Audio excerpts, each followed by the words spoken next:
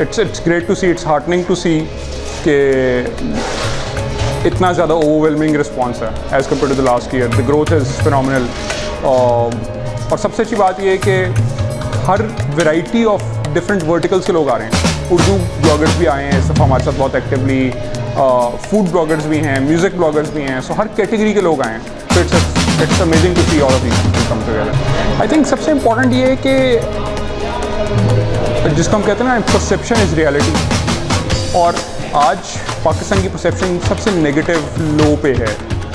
in the in the global landscape और globally लोगों के आपस में बहुत प्रॉब्लम्स हैं. सो so, इस न्यू मीडिया से एक, एक बात सबसे ज़्यादा इंपॉर्टेंट ये हुई है कि बहुत सारे लोगों का जो एक थोड़े लोगों का कंट्रोल कन्वेंशनल मीडिया पे था वो डिसेंट्रलाइज हो गया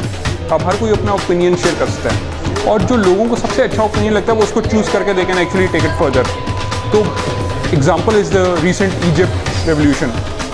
कि वो कोई एक नोन बंदा नहीं था जिसको लोगों ने फॉलो किया, और रेवोल्यूशन आया so I think the best part is के ये मीडिया एम्पावर कर रहा है उन लोगों को जिनके पास रियल वॉइस है, जिनके पास जेनुइन ओरिजिनल कंटेंट है। और फिर ऑटोमेटिकली उसकी एक नेचुरल फॉलोइंग आती है and then it obviously converts into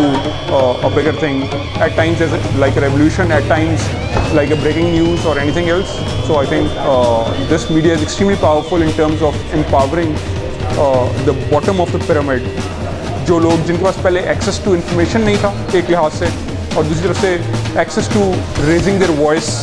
जो टूल्स थे वो नहीं थे now they can actually raise their voice I would say एक कोटेशन है which would reflect all this that ability is poor man's wealth तो अगर आपको एबिलिटी और पैसे नहीं है can still be a great online entrepreneur so I seen people जिन्होंने विद इन फ्यू मंथ्स एक अच्छी ब्लॉग सेटअप किया और उससे पैसे कमा रहे हैं। मैंने वो लोग भी देखे हैं जिन्होंने कुछ देर पहले ब्लॉग सेटअप किया और अब वो दुनिया में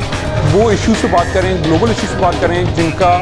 और ट्रैक्शन मिल रही है उनको बहुत ज़्यादा, जिनके बारे में लोगों को नहीं पता था कि ये शख्स इस बारे में इतना नॉलेजेबल है So I've seen people change their lives in Pakistan through blogging, and I think that's the best part. I'm always happy to see people change or improve their lives uh, with technology coming in.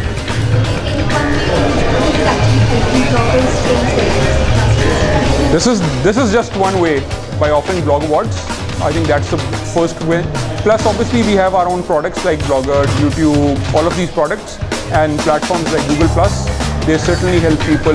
raise their voice, bring it to the limelight. And we, as, as Google, since we follow all the international standards, so keeping their privacy and everything, so people trust us with that. And that's where we have really been helpful to them.